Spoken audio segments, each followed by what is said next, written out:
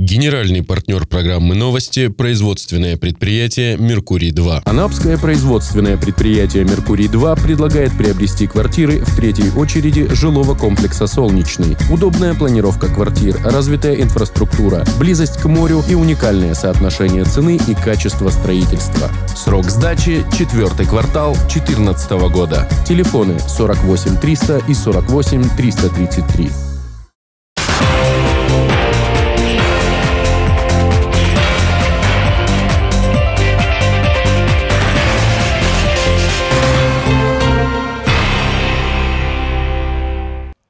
Эфир канала РЕН-ТВ продолжает новости Анапа регион. В студии Ирина Меркурьева. Здравствуйте. Смотрите сегодня в выпуске. В чужом глазу соринку видят, в своем бревна не замечают. Хозяева строящихся объектов забыли правила курорта.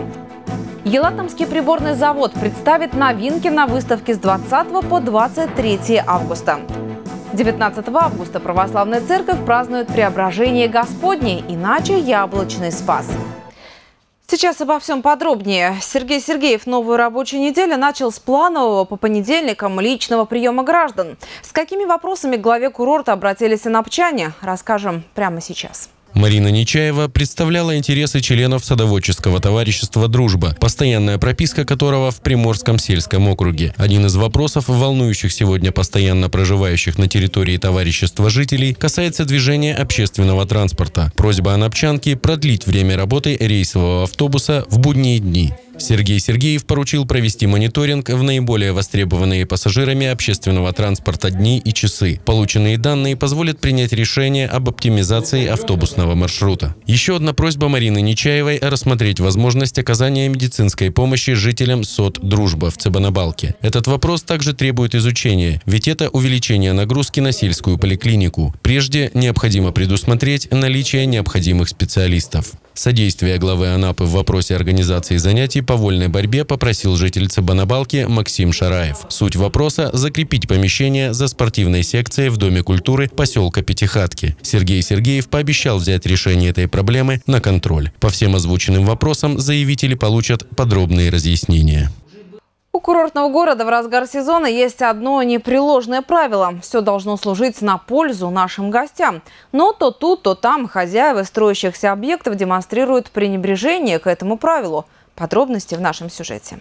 Бабушка с внучкой так и не решилась пойти по этой улице дальше. На углу улицы Маяковского, устроившегося дома, она повернула назад, ибо пройти здесь с утра 18 августа было невозможно. Глава города Сергей Сергеев заставил муниципальный контроль наказать застройщика не случайно. У незавершенной стройки с утра вдруг неожиданно убрали забор, а за ним взору открылись кучи строительного мусора, перерытая пешеходная дорожка справедливо отпугивала пешеходов. Для такого строительного всего материала у вас должна быть заказана лодочка. Есть в предприятии сети «Кристалл» 8 кубов дубовые лодочки. Почему вы их не заказали? Странно, что пришлось разъяснять застройщику правила отношения к участку, на котором ведется строительство. Казалось, хороший хозяин и сам должен понимать, что некрасиво выставлять на показ грязь и мусор. Извинения хозяина стройки не принимаются.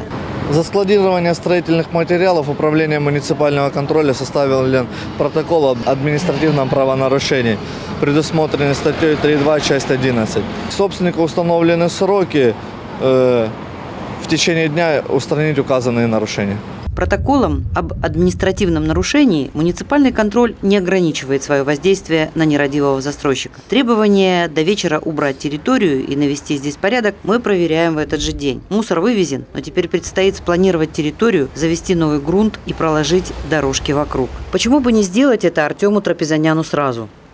Новинки медтехники производства Елатомского приборного завода представят в Анапе на выставке, которая пройдет с 20 по 23 августа.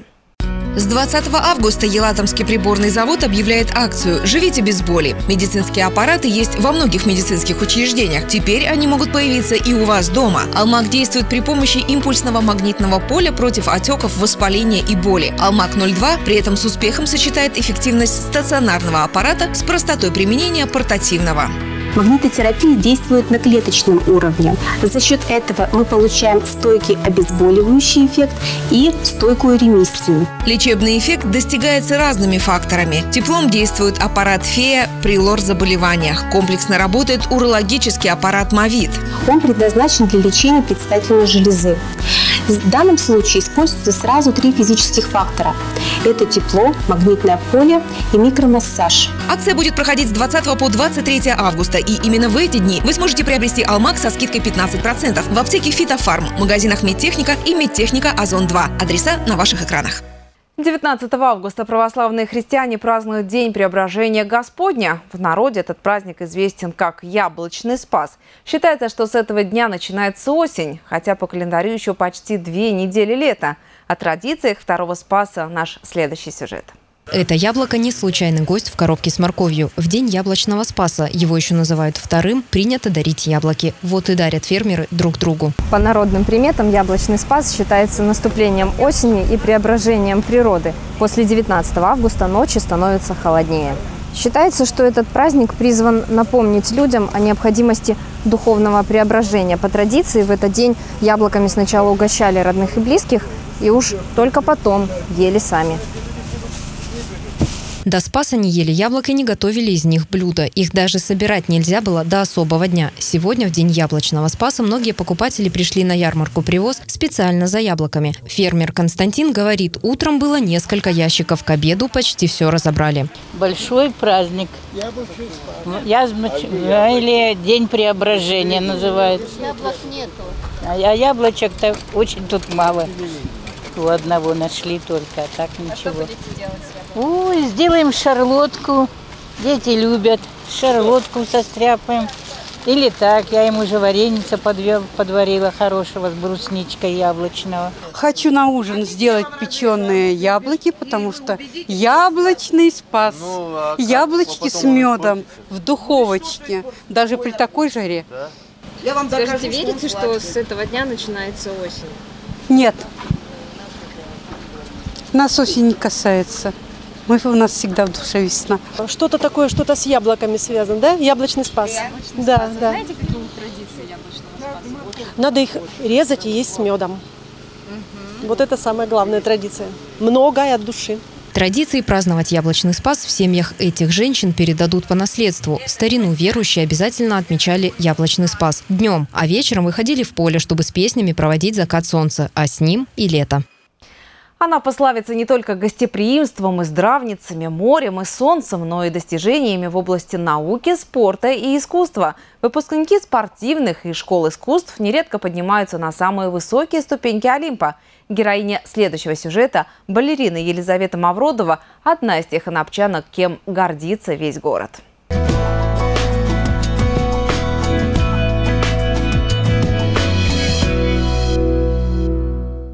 История сценической жизни Елизаветы Мавродовой началась с танцевального коллектива «Конфетти» под руководством педагога-профессионала Елены Пилипчук. В прошлом году Елизавета окончила Краснодарское хореографическое училище с отличием и поступила в Московский государственный университет культуры и искусства. Она всю жизнь мечтала стать балериной, добилась своего и стала продвигаться дальше. Время уже пришло расти. Сейчас я приехала из Москвы, и вот хотелось бы показать новые свои номера. Это модерн, Классику я также не забываю, но модерн сейчас уже развивается больше, и современная хореография людям сейчас более интересна, чем народный танец, хотя я народный танец тоже очень уважаю, очень люблю, и профессиональный народный танец – это очень большой труд. Елизавета год отучилась на кафедре балетмейстер-хореограф факультета «Современная хореография». В Москве в прошлом году получила гран-при международного конкурса и стала лауреатом первой степени. Сейчас она учится на режиссера театрализованных представлений и праздников, и проведение показа студии «Баттерфляй» стало ее первой режиссерской и балетмейстерской работой. Елизавета писала сценарий, поставила дефиле молодежной эпатажной вечерней одежды, сочинила и обработала монолог «Муза» на открытии показа моделей. Анапские зрители стали первыми, кто увидел ее премьерные номера «Талисман» и «Зависимость».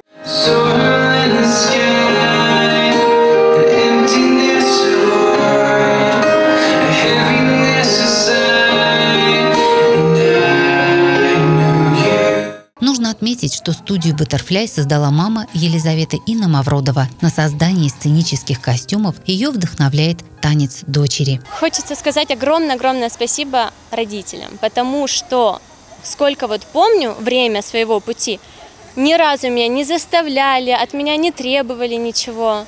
Это все было с такой мудростью, что вот благодаря именно этой мудрости мне хочется еще больше двигаться, рвать все цели и достигать чего-то, чтобы родители много гордились, потому что я знаю, что моя семья в меня верит, а это самое главное. Сольные исполнители песен и танцев, ансамбли «Солнышко» и «Луна-парк» и другие, шоу-театры сотрудничают с Butterfly плотно на протяжении пяти лет и с удовольствием показали новые и полюбившиеся модели на этом вечере, удобные для выступлений, яркий и дополняющий образ. На этом вечере Питере также со сцены Центра культуры Родина впервые прозвучал творческий псевдоним Елизаветы Мавродовой «Жемчужная». Весьма символично. Елизавета стала еще одной жемчужиной в ожерелье прославленного русского балета.